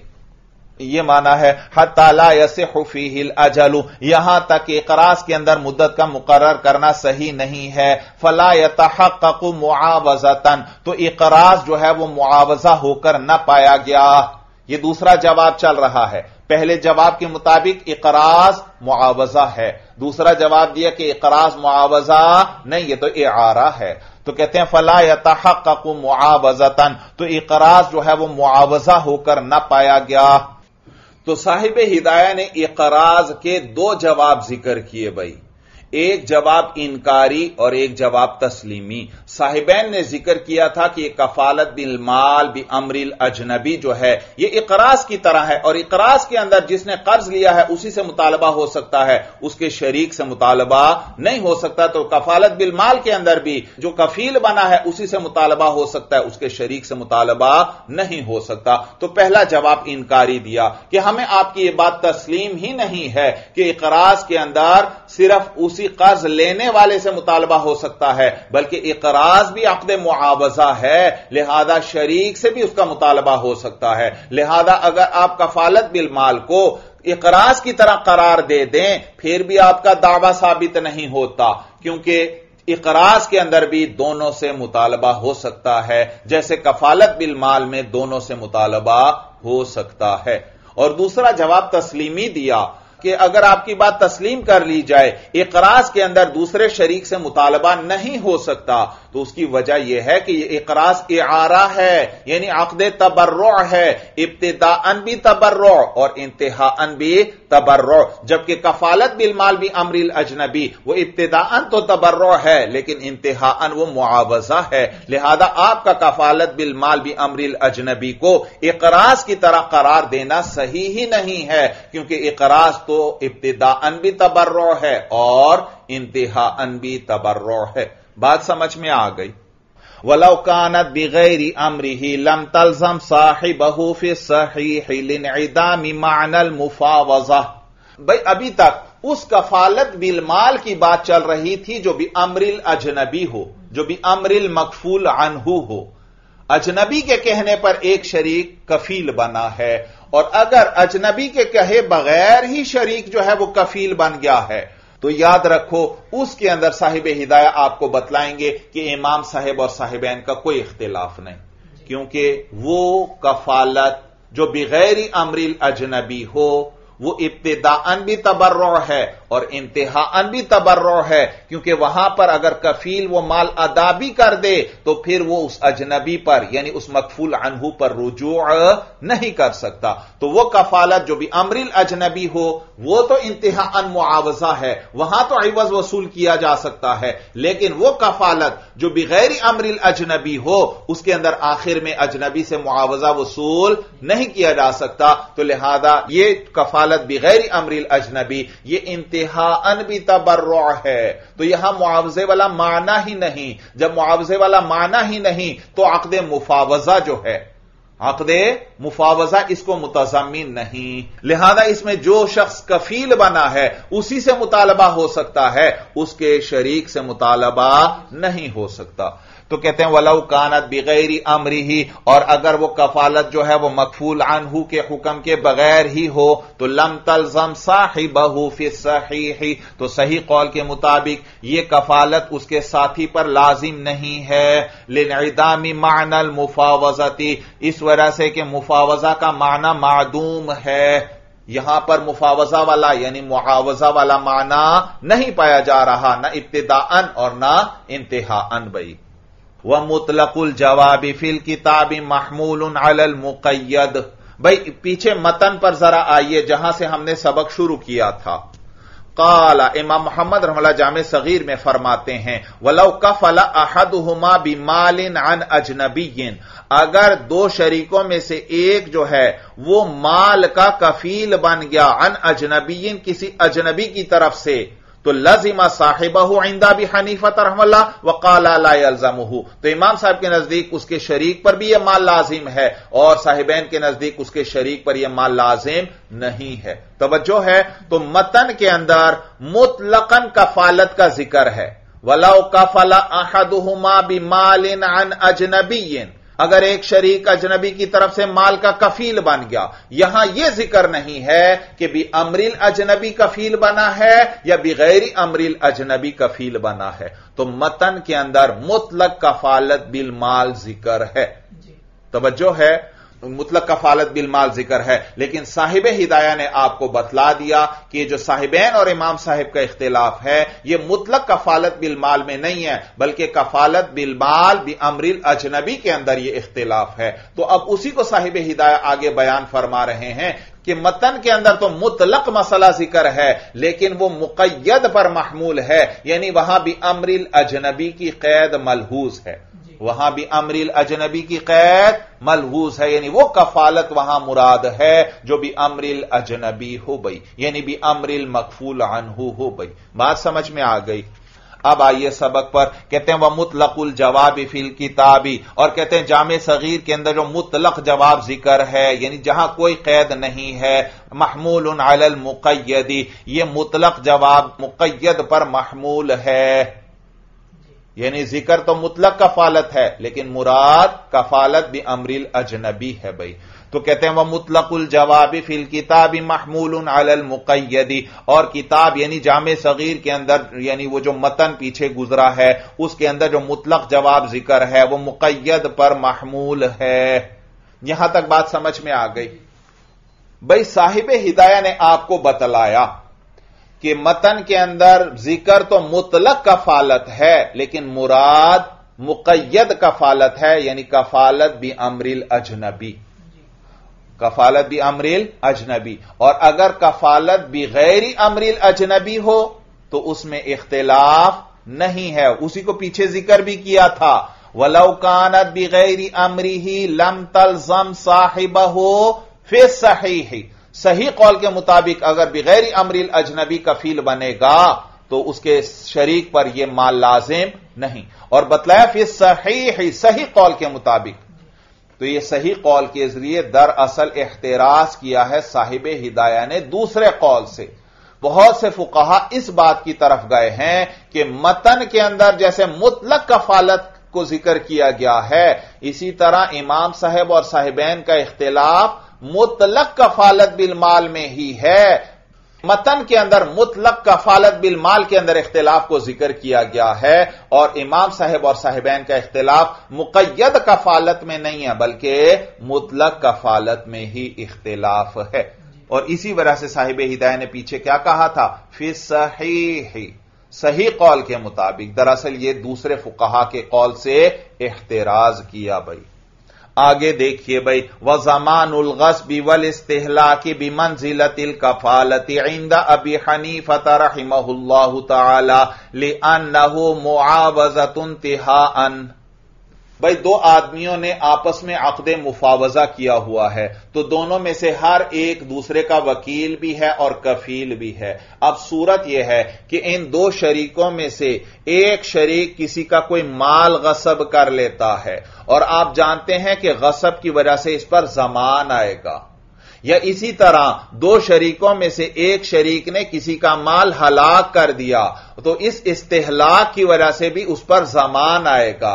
तो क्या यह जमान जो गसब की वजह से आया, या यह जमान जो इस्तेहलाक की वजह से आया, क्या इसका मुतालबा दूसरे शरीक से किया जा सकता है या नहीं? तो आपको साहिब हिदाया बतलाएँगे कि यह जो जमान आया है ये बतौर ईवज के आया है, बतौर मुआवजा के आया है। एक शख्स ने किसी की चीज़ गसब की तो ईवज के तौर पर इस पर जमान आ गया। ये एक ने दूसरे का माल हलाक किया तो ईवज के तौर पर इस पर जमान आ गया। तो यहाँ मुआवजे वाला माना है इंतहा के एतबार से। इब्तदान तो गसब और इस्तेहलाक है, लेकिन इंतहान जमान आ रहा है तो इंतहान मुआवजा है। तो यह भी किसकी तरह हुए? कफालत की तरह हुए। और कफालत की वजह से एक शरीक पर जो माल लाजिम होता है, उसका मुतालबा दूसरे शरीक से भी किया जा सकता है। तो ये जो गसब और इस्तेहलाक की वजह से जो जमान लाजिम होगा, उसका मुतालबा भी दूसरे शरीक से किया जा सकता है, इमाम साहेब के नज़दीक भाई। तो कहते हैं, वह जमान उलगस बिवल इस्तेहला की और गसब और इस्तेहलाक का जो जमान है बिमन जिलतिल कफालती आइंदा अभी हनीफत रहमहुल्ला ये भी कफालत के दर्जे में है, इमाम साहिब के नज़दीक। यानी ये, उसके शरीक पर भी यह जमान लाजिम होगा, उससे भी मुतालबा हो सकता है। ले अन नहू मुआवजतुन इंतहा अन इसलिए क्योंकि यह जमान जो है यह भी मुआवजा है इंतहा के एतबार से। बात समझ में आ गई। यहाँ शारहीन ने एतराज़ किया है कि साहिब हिदाया ने सिर्फ़ इमाम साहेब को ज़िक्र फरमाया। हालाँकि इमाम मोहम्मद रहमल्ला का भी यही मज़हब है। इमाम मोहम्मद रहमल्ला के नज़दीक भी गसब और इस्तेहलाक की वजह से जो जमान लाजिम होगा, उसका मुतालबा उसके शरीक से भी किया जा सकता है। तो साहिब हिदाया ने सिर्फ़ इमाम साहब को ज़िक्र फरमाया, लेकिन मुहशी हजरात फरमाते हैं कि इमाम मोहम्मद रहला का भी यही मज़हब है, लिहाजा साहिब हिदाया को इमाम मोहम्मद रहला को भी ज़िक्र करना चाहिए था। बात समझ में आ गई। आगे देखिए, काला इन वरिसा अहदुमा मालय से हुफी ही शिरका। भाई, मैंने आपको बतलाया कि ये जो आकद मुफावजा है, या यूँ कहो, ये जो आकद शिरकत है, ये दिरहम, दीनार और फलूस नाफिका में जायज़ है। सामान, मकीलात, मौजूनात वगैरह में जायज़ नहीं। इसी तरह ज़मीन के अंदर भी, यानी गैर मनकूली जायदाद में भी यह आकद शिरकत जायज़ नहीं है भाई। तो अब साहिब हिदाया आपको बतलाएँगे कि हमने आपको बतलाया था कि आकद मुफावजा के अंदर दोनों शरीकों का माल बराबर होना चाहिए। हर माल नहीं, वो माल जिसमें शिरकत हो सकती है, यानी दिरहम, दीनार और फुलूस नाफिका। एक के पास अगर 20 दिरहम है तो दूसरे के पास भी 20 दिरहम ही होने चाहिए। अगर दोनों का माल बराबर नहीं है तो फिर यह आकद मुफावजा नहीं है, बल्कि यह आकद ईनान होगा। अब उसी को साहिब हिदाया बयान फरमा रहे हैं कि दो आदमियों ने आपस में अकद मुफावजा कर लिया, लेकिन फिर बाद में एक शरीक को कुछ जायद माल कहीं से मिल गया। और ऐसा माल मिला जिसमें शिरकत हो सकती है, यानी दिरहम मिले, या दीनार मिले, या फुलूस नाफिका मिल गए भाई। चाहे, मसलन, वरासत के तौर पर उसको मिल गए या चाहे उसको किसी ने हिबा कर दिए, यानी तोहफे के तौर पर दे दिए तो दोनों का माल बराबर न रहा। जब दोनों का माल बराबर न रहा तो मुफावजा बातिल हो जाएगा, क्योंकि मुफावजा के अंदर जैसे इब्तदान मुसावात ज़रूरी है माल में, इसी तरह बकान भी माल के अंदर मुसावात और बराबरी ज़रूरी है भाई। तो दो अफराद ने अकद मुफावजा किया हुआ है। इनमें से एक को वरासत के अंदर या तोहफे के तौर पर ऐसा माल मिल गया जिसमें शिरकत हो सकती थी तो अकद मुफावजा बातिल हो जाएगा। तो कहते हैं, काला इमाम मोहम्मद रमला जाम सगीर में फरमाते हैं फ़िन वरिसा आहदुमा मालन। अगर इन दोनों शरीकों में से एक वारिस हो गया, ऐसे माल का, देखो मालन नकेरा है और यसे हो आगे फेल आ रहा है तो यह उसके लिए सिफत बनेगा। और मौसू सिफत का तर्जमा कैसे करते हैं? मौसू से पहले ऐसा या ऐसी का लफ्ज लाते हैं। फिर तर्जमा देख लीजिए काला इमाम मोहम्मद रहमल्ला जाम सगीर में फरमाते हैं फ़ैन वरिसा अहद हुमा मालन। अगर इन दोनों में से कोई एक शरीक जो है, वो वारिस बन गया, ऐसे माल का, यसे हुफी ही शिरकत, कि जिसके अंदर शिरकत सही है अब वो हिबा लहू या उसको ऐसा माल हिबा किया गया वबा सला इला यदी और यह माल उसके हाथ तक पहुँच गया, यानी उसके कब्जे में आ गया। भाई, मैंने आपको बतलाया था कि हिबा के अंदर कब्जा भी ज़रूरी है, फिर ही हिबा ताम होगा। मसलन, आपको किसी शख्स ने तोहफे के तौर पर कोई किताब दी तो जब तक वो किताब आपके कब्जे में नहीं पहुंचेगी, आप इस किताब के मालिक नहीं हैं। सिर्फ़ ज़ुबान से कहने से कोई शख्स किसी चीज़ का मालिक नहीं बनता, जब तक वो चीज़ उसके कब्जे में ना आ जाए। तो यहाँ पर भी इसीलिए कहा कि अ वो हिबा लहू, या एक शरीक को वो माल हिबा किया गया, वह वसला इलायदी ही, और वो माल उसके कब्जे को पहुँच गया, यानी उसके हाथ में आ गया तो ये उसका मालिक बन गया। जब मालिक बन गया, अब एक का माल जायद है और दूसरे का माल कम है तो आकद मुफावजा बातिल हो जाएगा। तो कहते हैं, इस सूरत के अंदर, बतलतिल मुफावजा, तू तो अकद मुफावजा बातिल हो जाएगा। वसारत ईनान और ये शिरकत जो है, ये शिरकत ईनान हो जाएगी। लिफवातिल मुसावाती, इसलिए क्योंकि बराबरी खत्म हो गई। फ़ी मायसलुह रसल माली, उस चीज़ के अंदर जो रसुल माल होने की सलाहियत रखता है। भाई, एक शरीक को दिरहम, दीनार या फुल, उसे नाफिका मिले हैं। और इन पर तो शिरकत हो सकती है। तो एक शरीक ऐसे माल का मालिक बन गया जिसमें शिरकत हो सकती है, लेकिन शिरकत है नहीं तो माल में बराबरी न रही। तो कहते हैं लिफवातिल मुसावाती फ़ी मायसलुर असल माली। इस वजह से कि बराबरी फौत हो गई। उस माल के अंदर जो रासुल माल होने की सलाहियत रखता है ईद ही शर्त फ़ी हिबतिदा व बका अन इसलिए क्योंकि यह बराबरी तो शर्त है अकद मुफावजा में इब्तदा अं व बका अन इब्तदा के एतबार से भी और बका के एतबार से भी। वहाजा और ये इस वजह से यकद मुफावजा इसलिए बातिल हुआ ले अन आखरा। इसलिए क्योंकि दूसरा शरीक जो है, ला युशारी को फीमा असा बहू वो तो शरीक नहीं है। उस माल के अंदर जो एक को मिला है लेकिन इदाम इस सब अभी फ़ी हक ही इसलिए क्योंकि उसके अंदर शिरकत का सबब मादूम है।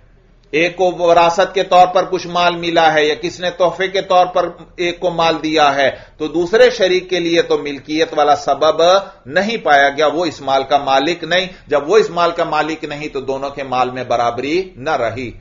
तो कहते हैं, वहादा और यह अकद मुफावजा इसलिए बातिल हो जाता है लिअन आखर ला युशारी कोहू फ़ी मा असा बहू इसलिए क्योंकि दूसरा शरीक जो है, वो शरीक नहीं है, उस माल के अंदर जो एक को मिला है लिनदाम सब अभी फ़ी हक ही इसलिए क्योंकि उसके हक में तो शिरकत का सबब मादूम है।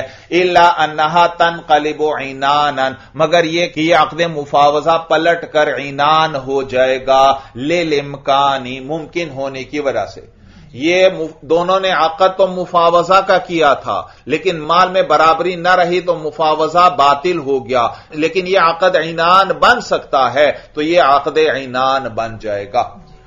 तो कहते हैं, इल्ला अन्हा तन कलिबो ईनान अनलिल इमकानी मगर ये कि ये मुफावजा जो है, ये पलट कर ईनान हो जाएगा। लिल इमकानी मुमकिन होने की वजह से। फ़िनल मुसावत अलई सब शर्त इन फ़ी ही इसलिए क्योंकि ईनान के अंदर मुसावत शर्त नहीं है। शिरकत ईनान के अंदर दोनों शरीकों का माल बराबर होना शर्त नहीं है। कहते हैं, फ़ैनल मुसावात अलई सब शर्त फ़ी ही इसलिए क्योंकि ईनान के अंदर मुसावात शर्त नहीं है। वली दवा में ही हुक्म हुक्मतदाई लिकौनी ही गैर लाजिमीन। और नीज ये शिरकत ईनान का जो दवाम है, इसका भी इब्तदा वाला ही हुक्म है। इस वजह से कि यह लाजिम नहीं है। भाई एक एतराज़ का जवाब दे रहे हैं। एतराज़ यह होता है, एतराज़ यह होता है कि पहले अकद मुफावजा था और अब आप इसको कह रहे हैं कि यह अकद ऐनान बन गया। ये क्या बन गया? अकद ऐनान बन गया। तो यह तो बका की हालत में ऐनान बन रहा है।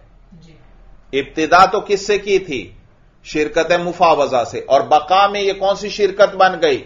शिरकत ऐनान बन गई। तो यह तो जायज़ नहीं होनी चाहिए। तो जवाब दे रहे हैं कि नहीं, शिरकत के अंदर बका का भी वही हुक्म होता है जो इब्तदा का होता है। यानी जैसे इब्तदा के अंदर शिरकत किसी पर लाजिम नहीं। आप एक आदमी के साथ आकद मुफावजा करते हैं। आप पर लाजिम नहीं है। आपकी मर्ज़ी है आकद मुफावजा करें या ना करें। या एक आदमी के साथ आप शिरकत ईनान करते हैं। आप पर लाजिम नहीं है कि आप शिरकत ईनान करें या न करें। बात समझ में आ गई? मालूम हुआ यह जो शिरकत वाला अकद किया जाता है। जैसे इब्तदा के अंदर यह किसी पर लाजिम नहीं है। इसी तरह इंतहा के एतबार से और बका के एतबार से भी यह किसी पर लाजिम नहीं है। आपने एक आदमी के साथ अकद शिरकत कर लिया, लेकिन कुछ अरसे के बाद आप कहते हैं, बस भाई, आज के बाद मेरा और आपका अकद शिरकत खत्म है। तो देखा अब वो आपको काजी के पास ले जाकर भी आप पर इस इस शिरकत को लाजिम नहीं कर सकता। मालूम हुआ ये जो शिरकत का आकद होता है, ये किसी पर भी लाजिम नहीं होता। जिस वक्त ये दोनों चाहे उसको खत्म कर सकते हैं। तो ये शिरकत का जो आकद है, जैसे इब्तदान गैर लाजिम है, इसी तरह इंतहान और बकान भी गैर लाजिम है। मालूम हुआ यहाँ बका का भी वही हुक्म है, जो इब्तदा का था। लिहाजा यहाँ पर यह जो अकद मुफावजा था ये बकान क्या बन गया? ईनान बन गया। लेकिन बका का भी वही हुक्म है जो इब्तदा वाला है यूँ समझो इब्तदाए ईनान हो रही है। इब्तदाए ईनान हो रही है। तो कहते हैं वली दवाम ही हुक्म इब्तदाई। और ईनान के दवाम का वही हुक्म है जो इसकी इब्तदा का हुक्म है। लिकौनी ही गैर लाजिमिन। इस वजह से कि ईनान लाजिम नहीं है। फ़िन वरिसा अहदुमा अर्जन फहुआ लहू वला तफसुदुल मुफावजतु यहाँ से आपको यह बतलाएँगे कि अगर दोनों शरीकों में से एक ऐसे माल का मालिक बन गया जिसमें शिरकत जायज़ ही नहीं है तो इससे मुफावजा पर कोई असर नहीं पड़ेगा इन्होंने आपको बतलाया भाई दो आदमियों ने अकद मुफावजा किया हुआ है तो दोनों का माल बराबर होना ज़रूरी है अगर एक शरीक को भी जायद माल मिल गया तो मुफावजा बातिल हो जाएगा। लेकिन अगर दोनों में से एक को ऐसा माल मिला है जिसमें शिरकत जायज़ ही नहीं है, मसलन सामान मिल गया, या मकीलात और मौजूनात मिल गए, या ज़मीन मिल गई तो इससे मुफावजा पर कोई असर नहीं पड़ेगा, क्योंकि मुफावजा के अंदर दिरहम और दीनार और फलूस नाफका का बराबर होना ज़रूरी है। सामान और मकीलात और मौजूनात और ज़मीन वगैरह का बराबर होना ज़रूरी नहीं है। तो कहते हैं इन वरिसा अहदुमा अर्जन। तो अगर इन दो शरीकों में से एक जो है वो सामान का वारिस हो गया फहुआ लहू तो यह सामान उसी का होगा। वला तफसुदुल मुफावजतु, और अकद मुफावजा भी फासिद नहीं होगा। व कदल आकारू, और इसी तरह है गैर मनकूली जायदाद भी। आकार किसे कहते हैं? गैर मनकूली जायदाद जो है, यानी ज़मीन है, दुकान है, घर वगैरह। तो कहते हैं, वकादल आकारू, और इसी तरह गैर मनकूली जायदाद भी है, यानी वो भी किसी एक को मिल जाए तो उसे आकद मुफावजा बातिल नहीं होगा। नहू ला यसे हुफी ही शिरकत इसलिए क्योंकि जो सामान और गैर मनकूली जायदाद है इनके अंदर शिरकत सही नहीं है। फलायुश तरतुल ही तो इनके अंदर बराबरी भी शर्त नहीं होगी। इनके अंदर बराबरी की शर्त भी नहीं लगाई जाएगी। बात समझ में आ गई। चलिए बस भाई हादा हुआ मराम अल्लाह आलम भी हकीकत कलाम।